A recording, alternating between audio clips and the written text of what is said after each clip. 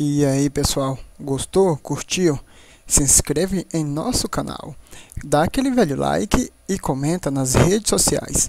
Isso é muito importante para nós. Obrigado!